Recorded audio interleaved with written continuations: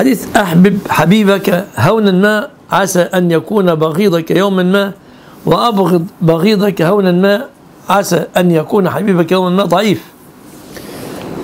هو من قول علي لكن له معنى يعني منسوب إلى علي. يعني لا تبالغ في بغض الشخص قد قد يصبح حبيبك من غد.